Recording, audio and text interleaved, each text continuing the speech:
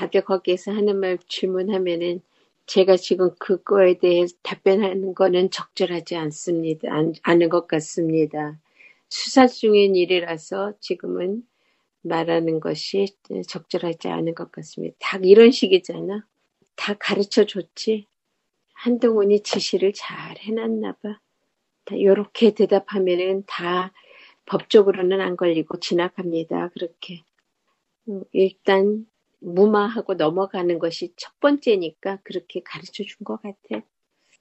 어떤 때 어떻게 대답하는 거, 이런 거. 일종의 묵비권 행사지.